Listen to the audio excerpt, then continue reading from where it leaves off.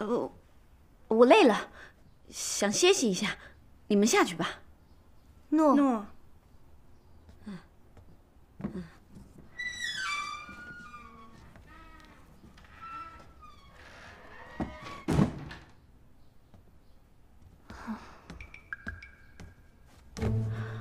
哎，看来这便宜也不是那么好占的。管他的，兵来将挡，水来土掩。要是太过分了，不逃就是。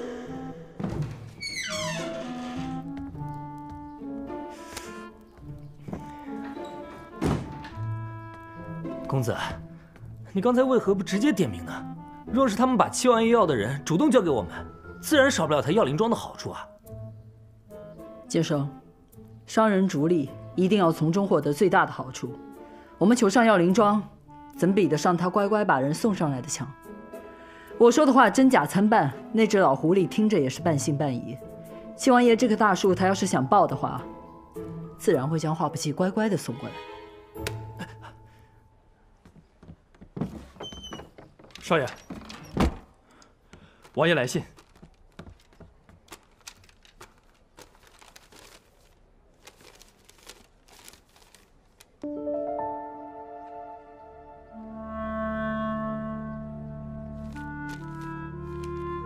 怎么了，少爷？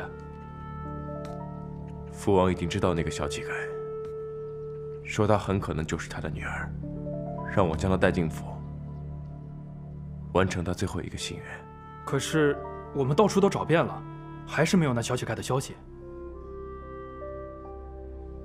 刚才林庄主来试探我对于私生女的态度，很有可能小乞丐已经被他们抓回了药灵庄。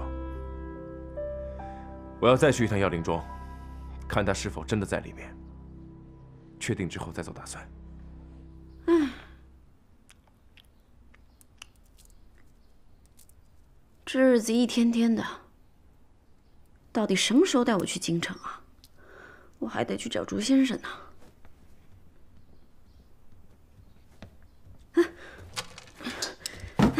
姐姐，爹唤你去前厅，赶快随我来。是要去京城吗？这个我也不清楚，看爹的安排。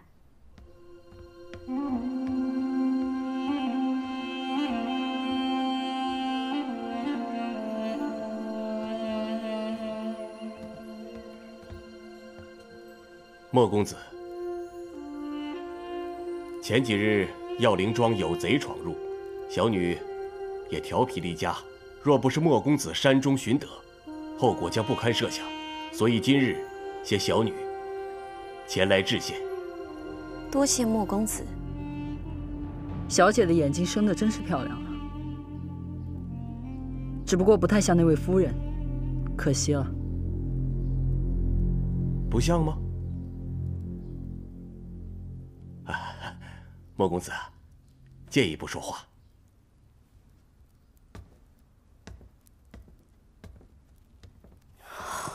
天哪，这做小姐可真累。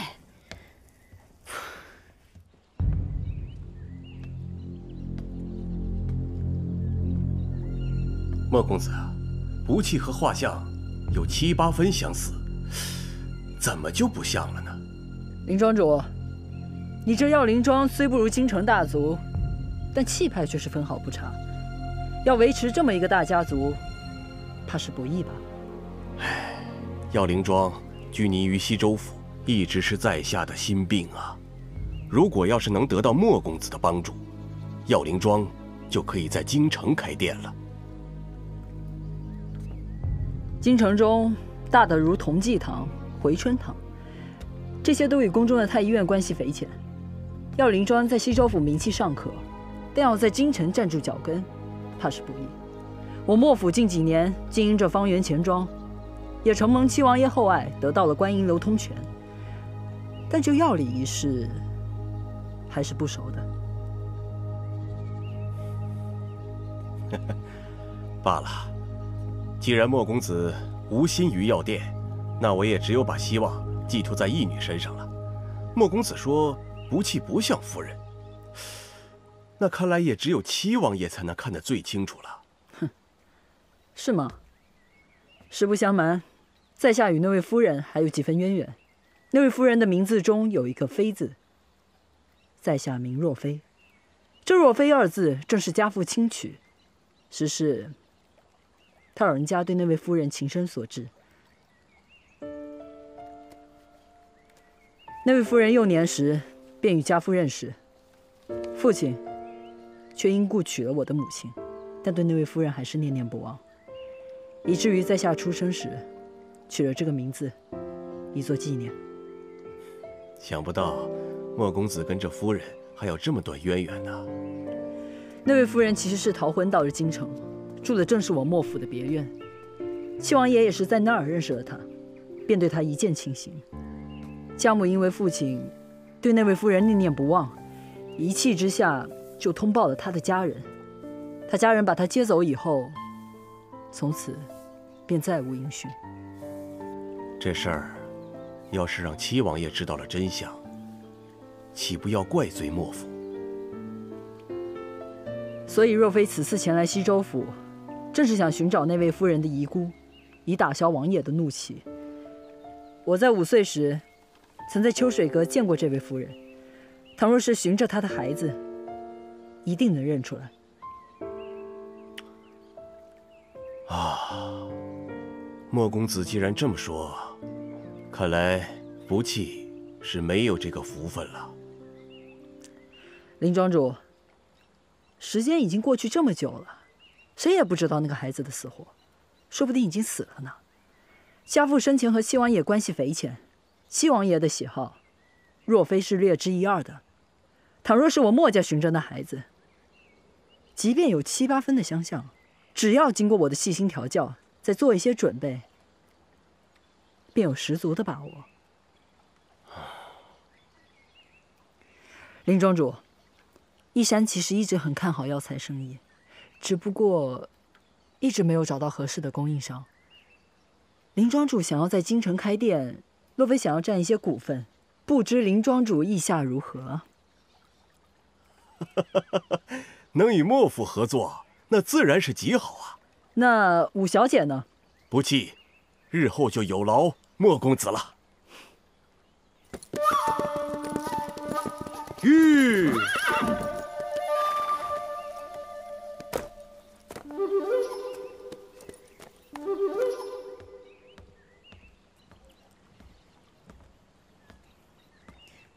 老爷，莫公子。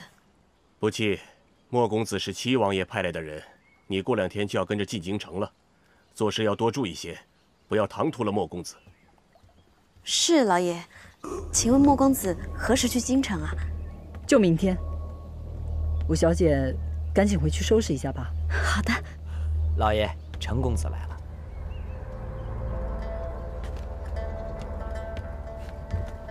参见殿下。参见殿下。啊，起来吧。殿下。怎么了？不像吗？我可是如假包换的七王爷长子。哎，小乞丐，你不是跟我说你要跟我一起回京城了吗？我让阿石找了你半天，你去哪儿了？不用了，不用了。莫公子会带我去京城，不必劳烦殿下了。啊，云山。你要带他回京城？五小姐从未出过远门，也听闻京城繁华，想让一山带她去看看。呃，一山也觉得旅途沉闷，有五小姐作陪，求之不得。小乞丐，你什么时候成了五小姐了？啊，我知道了。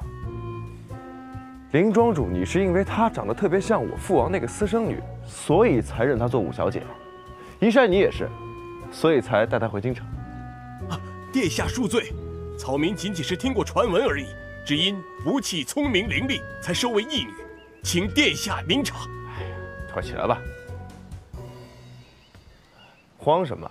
本王这次来就是告诉你们，你们都认错了。这个小乞丐，我比你们早就认识他了，而且我很早就调查过他了，他根本就不是我父王的那个野种。殿下也是误会了，一山只是想带小姐去京城逛逛，并没有其他的事情。行，既然你们想带，那就你带。反正我也懒得跟他一起回京城。不过，依山，我可提醒你一句，你这一路上一定要注意安全，可别赔了夫人又折兵啊！多谢殿下赠言。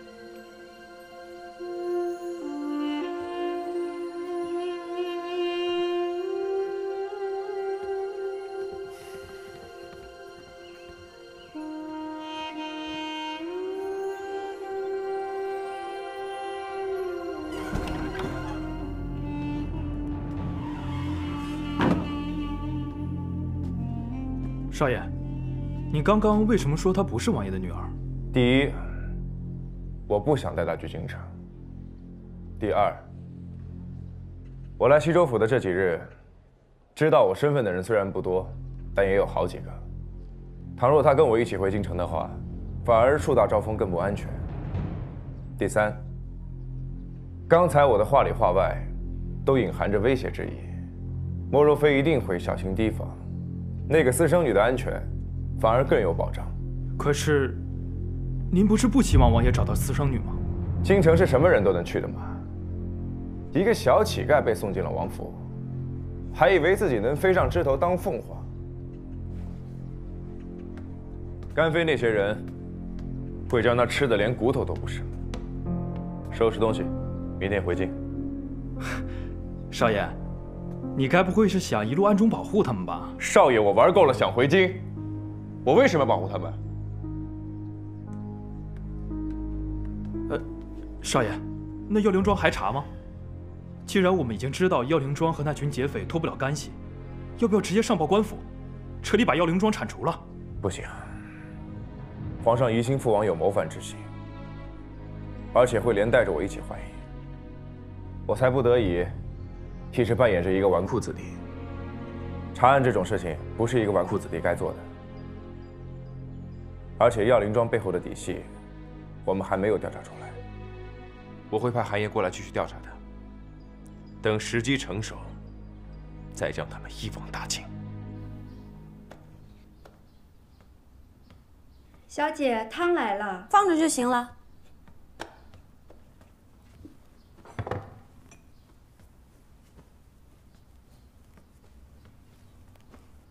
小姐怎么还在整理这身乞丐衣服？老爷已经吩咐过了，如今小姐身份不同，还是最好忘了从前吧。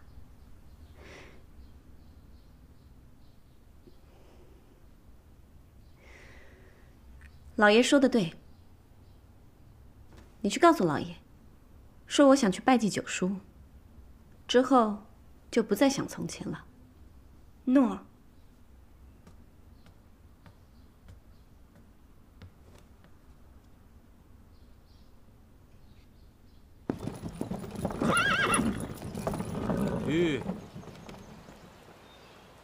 小姐是这儿吗？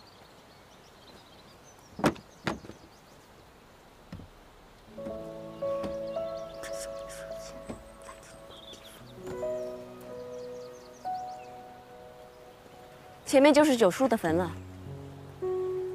你们当心点，别踩在枯骨上。穷人家没钱，草席一包就扔在这儿任老瓜吃了。所以到处都是枯骨。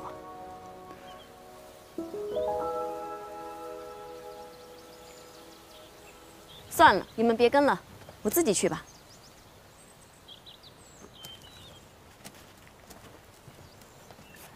都说了别跟了。小姐，老爷命小人保护您的安全，不得离开半步。你放心，这四周围又没有可以躲的地方，况且你们这么多人。还会武功，要抓我轻而易举，还怕我跑了？哎，小姐恕罪，这这都是老爷安排的。我如果想跟九叔说悄悄话，难道你也要一五一十的报告给老爷吗？小人不敢，小人不敢。再说了，老爷是让我进京城吃香的喝辣的，我为什么要走？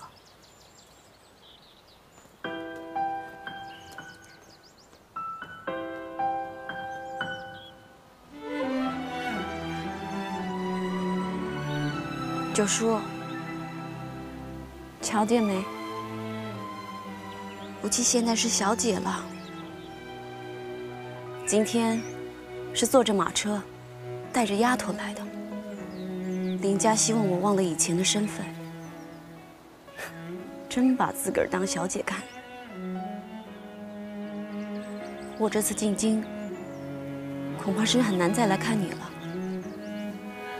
有阿黄陪着你，你也不会寂寞。你见到阿黄没？不过九叔，你放心，我从来都没有忘记你的话。我会去京城南下方星源当铺，找朱先生问清楚身世的。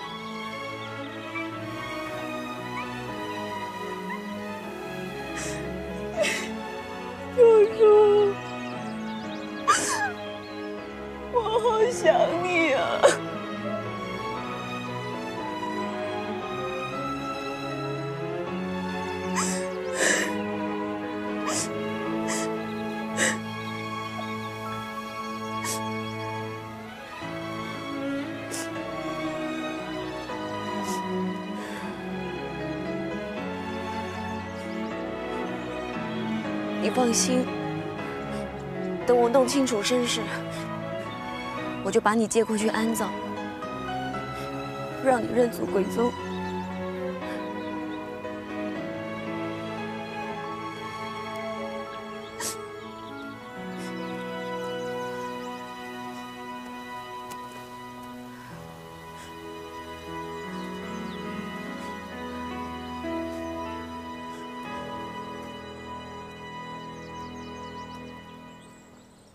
小姐，怎么这么久？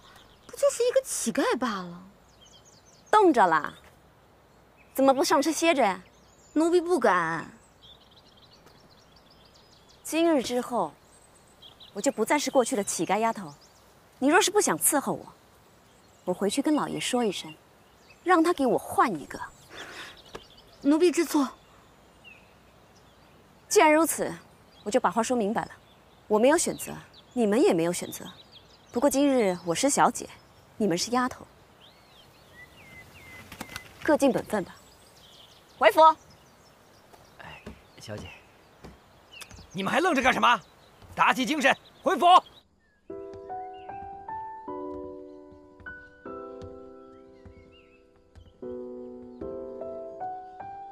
不弃，就交给莫公子了。林老爷放心，若非一定不负所托。不弃，到了京城，一切都听莫公子的。锦绣前程就在等着你，千万可别忘了药灵庄啊！老爷放心，不弃不是那种知恩不报的人，老爷爷请多保重。此事不宜大张旗鼓，我就不远送各位了，请吧。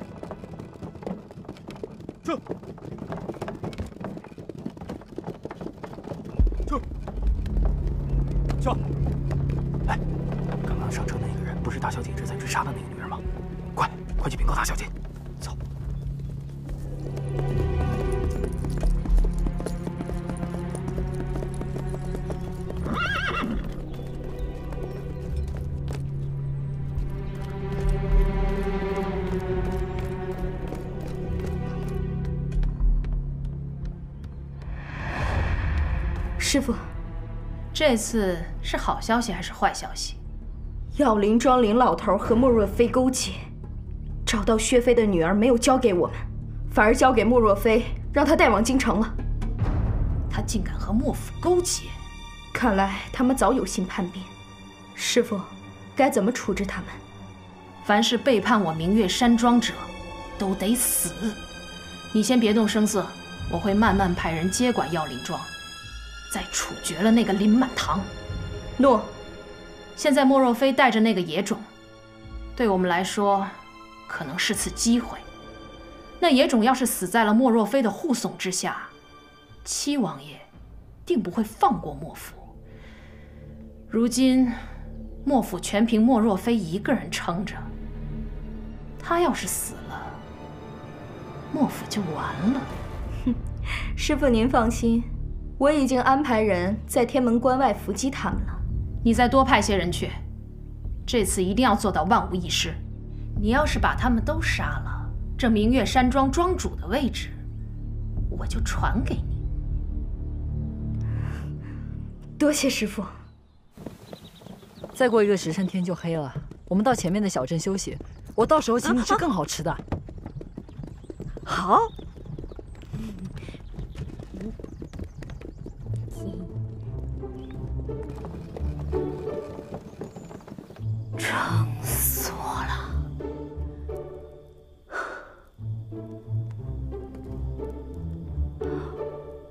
吃饱撑着是这种感觉啊！哎，来了。哎，穆公子，刚才命健身买的山楂可以理气消食。你呀，还是改不掉当乞丐的坏毛病，一遇到吃的就往肚子里头塞，以后山珍海味多的是。现在可别把肚子先吃坏了。莫公子放心，我是乞丐，这肚子什么东西没吃过啊？早就是铜墙铁肚了。长夜漫漫，好无聊。莫公子啊，你有没有什么事情可以消遣啊？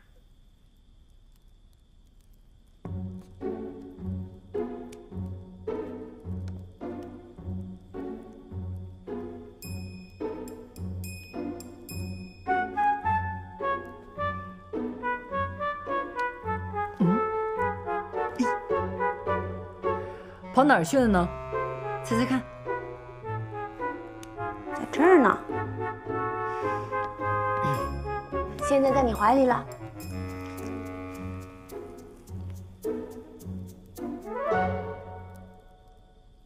你这手法不错啊，从哪儿学来的呀？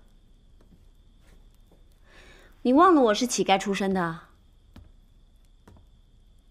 有时候我们两三天都讨不到一口饭吃。九叔脾气又倔，我真怕我们俩就这么饿死了，就跟其他乞丐学了几招。哎，我可从来都没用过哦。你乖乖听我的话，我会让你成为郡主，以后就不用过这样的苦日子了。郡主，要是真成了郡主，那不就吃香的喝辣的，绫罗绸缎穿都穿不完了。多谢莫公子大恩，莫公子真的帮不起打了个金饭碗呢。你知道感恩就好。好了，故人不念旧事不易，我来看看你的本事。我闭上眼睛，然后把金桔拿在手里，看你拿不拿得到。怎么可能啊？长夜漫漫，你刚刚不还觉得无聊吗？再说了，这房间里也没什么可玩的，对吧？这样，只要你从我手里拿走金桔，本公子有赏。五个金桔，五片金叶子，拿得一颗，得一片。我想三点私用，成吗？你小财迷啊！人家穷怕了。行，成交，来吧。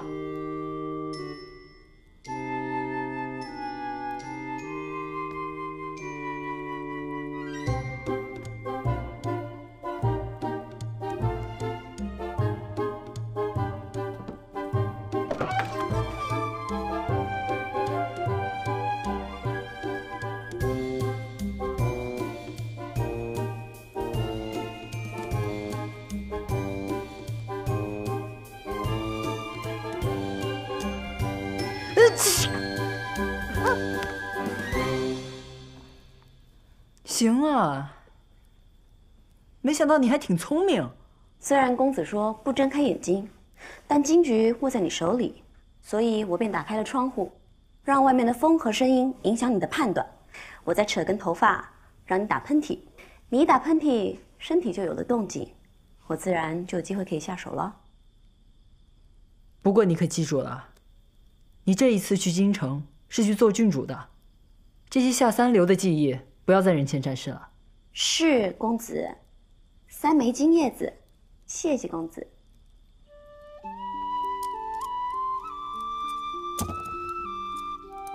这些金叶子全部都赏给你了。公子，你可别反悔啊！不会反悔，放心吧。对了，您的包袱里还带着陶钵和乞丐服吗？公子，九叔从小养育我，那个陶波是我对他唯一的念想了。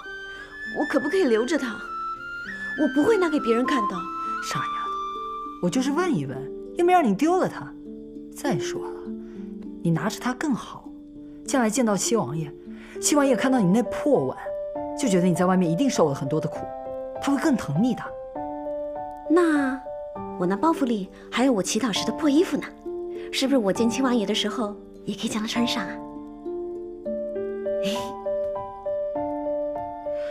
不过公子，那个狗屁世子看起来挺凶的，他会不会为难我呢？下回在外人面前可别再说什么狗屁世子了，那可是杀头的罪。我知道，我又不傻，我也就是跟穆公子你说说。世子殿下这个人吧，表面上比较纨绔，但我跟他接触，他不会做太出格的事情，你不用担心。是吗？王府自然还是王爷说了算。王爷既然费尽心机的找到你，你进了王府之后，他必定会护着你的，放心。希望如此。总之。不到万不得已，我是绝对不会再跟那个狗屁世子打交道的。还说，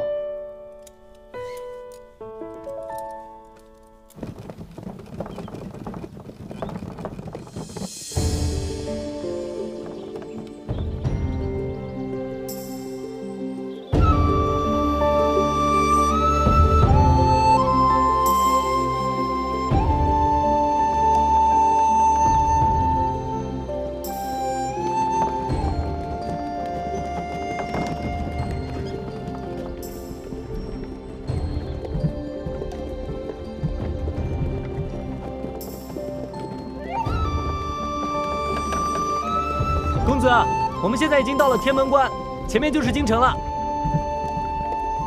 哇，穆公子，这里好漂亮啊！我们能不能下车停一会儿？马上就要到京城了，还是算了吧。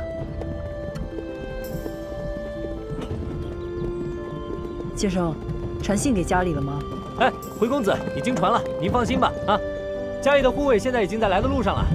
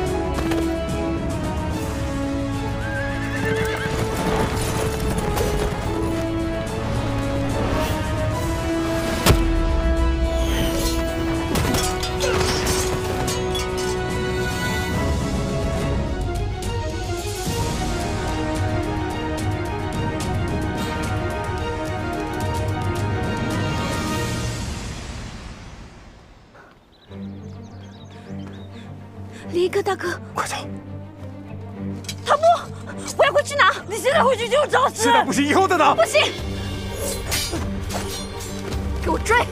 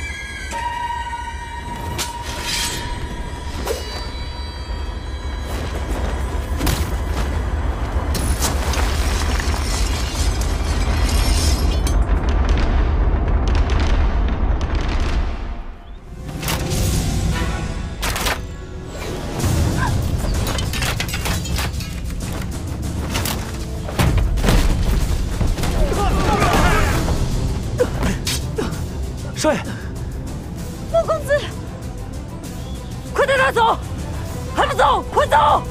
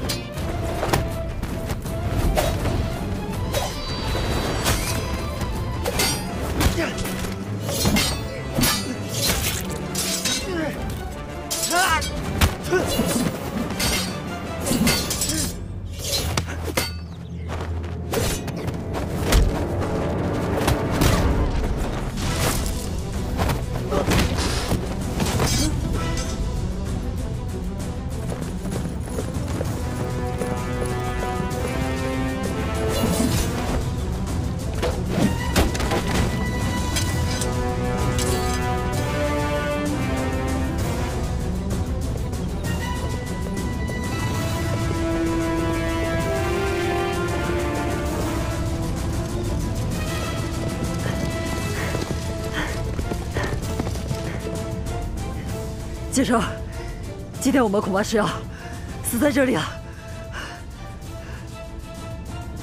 给我杀！撤！撤！撤！少爷，我们的救兵到了。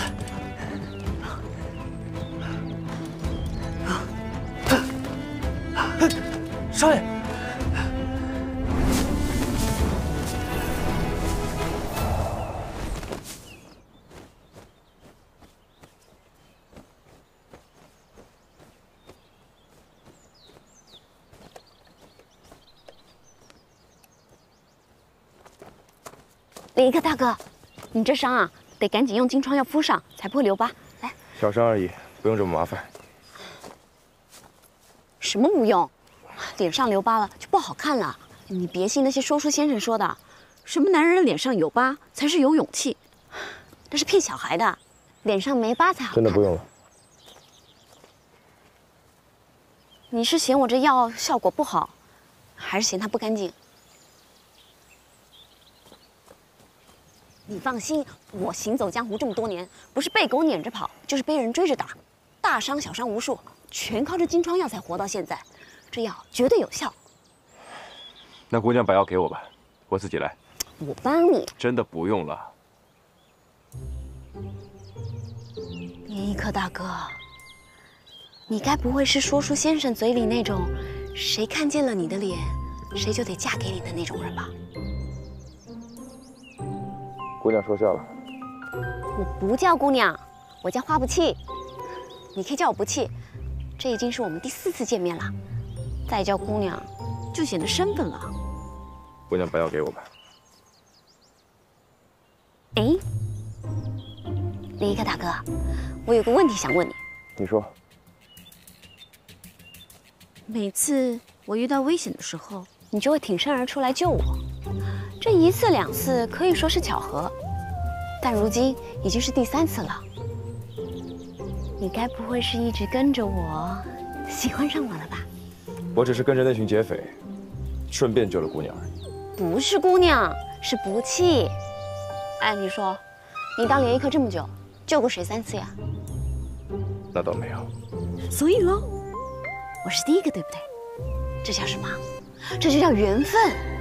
你都救过我这么多次了，我帮你敷个药有什么？男女授受不亲。什么男女授受不亲？你已经抱过我很多次了。看来连一克大哥不喜欢被人家看清相貌。唉，本来以为跟着莫公子就会安全一点，没想到反而连累人家被追杀。算了。为了穆公子的安全，我还是别跟着他。姑娘，你说你要进京寻亲，寻的可是七王爷？不知道，我九叔也没说明白。或许就是他吧。哎，连一克大哥，你武功这么高，要不？你送我去京城吧。不会送你的。不弃，花不弃。我们在这儿，这儿呢。哎，连一个大哥。告辞。驾。哎，连一个大哥。驾。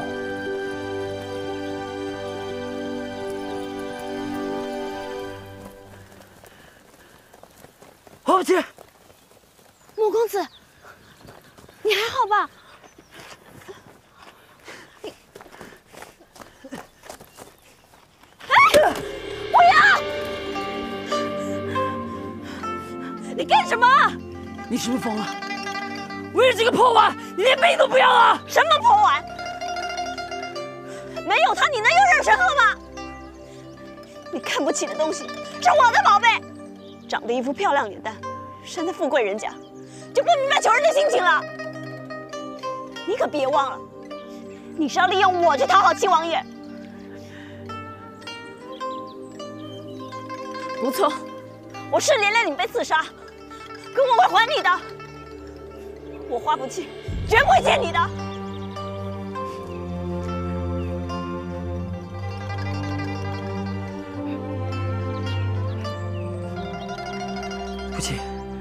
对不起，我给你道歉，是我太心急了。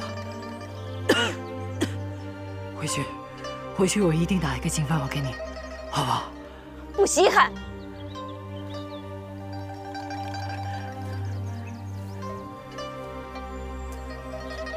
不急，我们马上就要到京城了，你马上就要成为郡主了，你就跟我回去吧。